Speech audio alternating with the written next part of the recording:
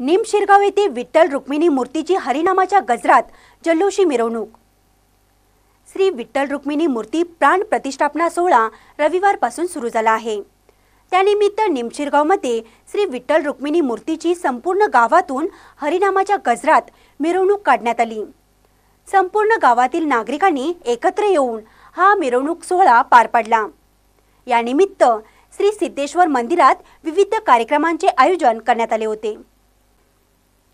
पन्नास वर्षापूर्वी श्री विठ्ठल रुक्मिणी यांची मूर्ती निमशिरगाव येथे सिद्धेश्वर मंदिरात बसवण्यात आली होती.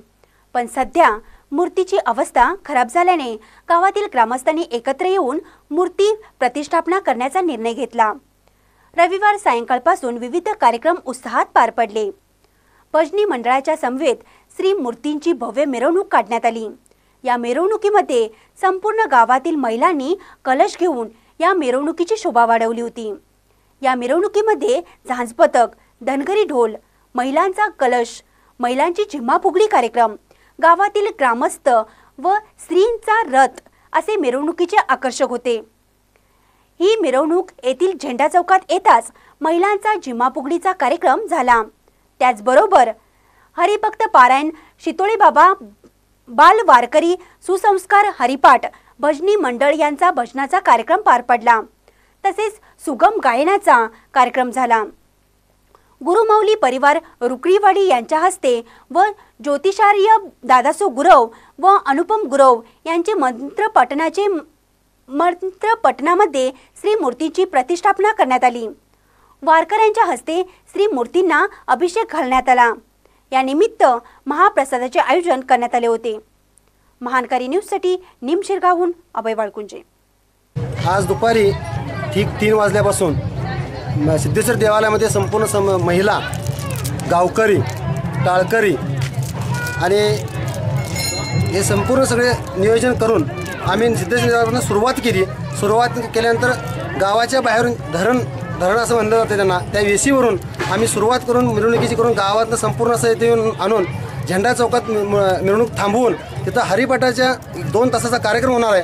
आणि तिथून परत आहेत तेच कलश घेऊन सिद्ध श्री सिद्धेश्वर मंदिरामध्ये प्रतिष्ठापनेसाठी कलश आणून त्या कलशानेच मूर्तीचा अभिषेक होऊन मग त्या मूर्तीची प्रतिष्ठापना होणार आहे. आणि अशा प्रकारे संपूर्ण गावकऱ्यांनी एवढा ह्यात सहभाग देऊन आम्हाला सर्व ह्या कमिटीला असू दे किंवा ह्या विठ्ठल मूर्ती प्रतिष्ठापनेच्या माध्यमातून सर्वांना अतिशय चांगल्या पद्धतीने साथ दिली. त्याबद्दल संपूर्ण पहिल्यांदा मी गावकऱ्यांचं अभिनंदन करतो आणि आभार मानतो. की अशा पद्धतीचा उत्साह आज तक आमच्या तरी आयुष्यात आम्हाला लाभला ह्या संपूर्ण गावकऱ्यांना लाभला.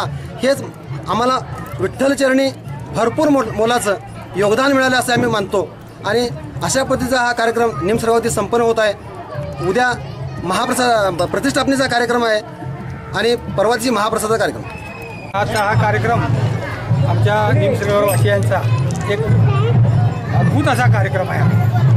न भूतो न भविष्यती अशा पद्धतीनं या ठिकाणी आमच्या ठिकाणी विठ्ठल रुक्मिणी बसविण्याचा जो योग आला आम्ही भाग्यवान आहोत. आणि निमशिरगावकर आज उत्साहाने या समारंभामध्ये या यात्री यात्री या मिरवणुकीमध्ये सोहळ्यामध्ये सामील झालेले आहेत.